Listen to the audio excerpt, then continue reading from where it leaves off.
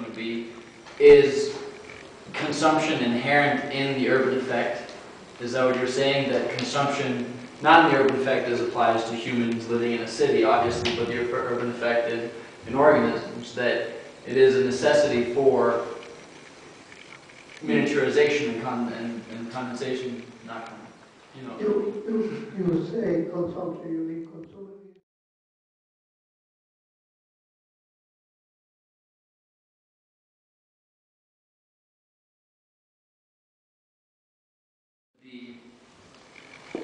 The second is the possibility of transferring reflection into mineral structures, bypassing organism with flesh.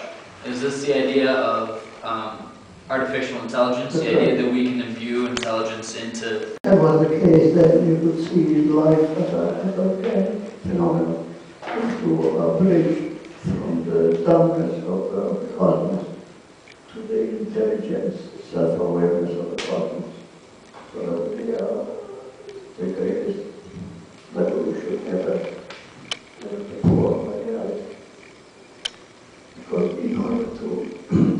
To, have, effect, to be able to see how the, the physical, the mineral becomes living.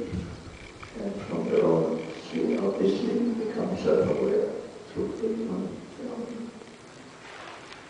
So, on the food, number eight, food for the body, food for the mind, discusses the idea of um, uh, processing and the removal of um, food and production of food from human consciousness. Now, to flip that one over to the the- theoretical area of silicon consciousness, would you have anything to say about that same type of uh, Marxism, alienation between the created mineral intelligence and uh, the evolved human intelligence.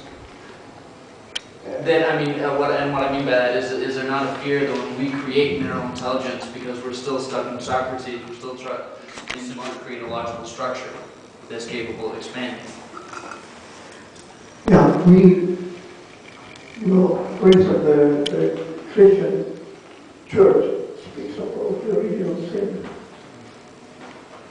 And uh, I say that they're, they're playing nothing God, so, you know, there is something true to the fact that life needs violence is a process that constantly uh, pro- produces violent acts.